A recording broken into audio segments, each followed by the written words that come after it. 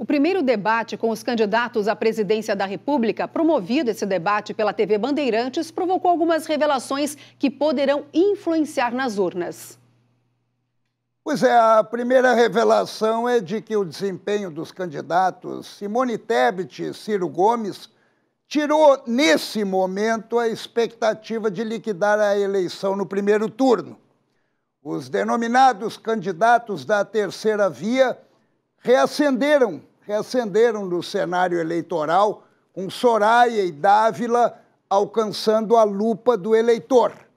Mas a distância de colocá-los em posição de disputa direta com os dois líderes ainda é muito significativa e quase impossível, até pelo tempo exíguo.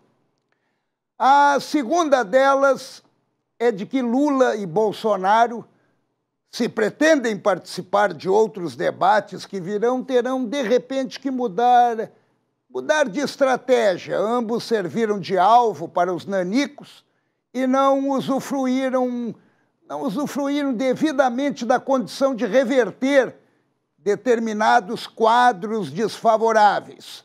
Lula foi emparedado no tema corrupção e não conseguiu convencer nem ele próprio com seu discurso esfolado de que é inocente, tentando estabelecer um mantra do roubamos, mas realizamos, determinando também a divisão de classes, se apresentando como uma, uma espécie de São Lula de Assis.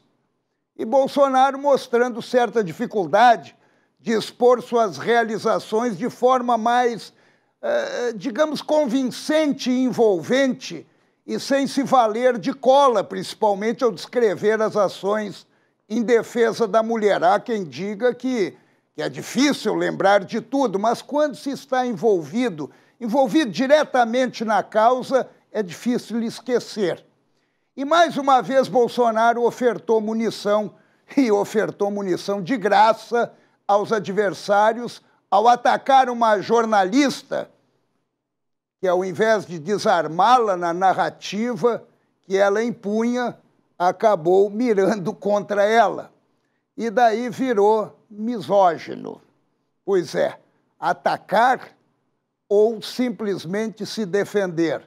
Há dúvidas. Bolsonaro sabia que estava em terreno movediço, inclusive quando, quanto a perguntas de jornalistas, muitos deles pareciam até candidatos adversários fazendo perguntas impostas, mas não fugiu do confronto, como Lula. Lula fez na Jovem Pan News, não participou da sabatina, porque acreditava que lá não ia conseguir enfrentar os contrários. Em muitos casos, Lula foi favorecido pelos adversários, quando eles atiravam contra Bolsonaro que também foi beneficiado com os ataques a Lula. Lula não esperava ser atacado e como foi pelos demais adversários da denominada terceira via. Mas vale destacar que a pauta sobre corrupção voltou a ter destaque no debate impulsionado por Bolsonaro, que abriu o tema sutilmente e acabou colocando o tema como prioritário. Na questão da mulher, que representa 65% dos votos de indecisos, Bolsonaro, de repente, até praticou uma espécie de automutilação. No momento que atacou a jornalista, ou pelo menos reagiu contra a jornalista. Deu para ela condições para agora ficar se vitimizando nas redes sociais. E Ciro, esse sim, enalteceu a hipocrisia no melhor estilo paz e amor que não convence ninguém. Não há tempo para avaliar cada momento e cada um deles, onde todos tiveram, claro, altos e baixos.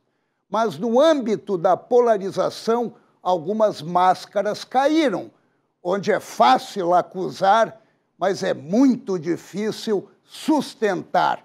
Votações contrárias do PT tiraram de Lula o discurso fácil de ataque contra Bolsonaro, em temas como o orçamento secreto, onde Lula costuma bombardear o presidente da República. Foi um senador do PT que ajudou a aprovar o orçamento secreto, com parlamentares petistas indicando emendas. Faça o que eu digo, mas não faça o que eu faço. Gente, a eleição está aí, e votar não é fácil para quem respeita o voto.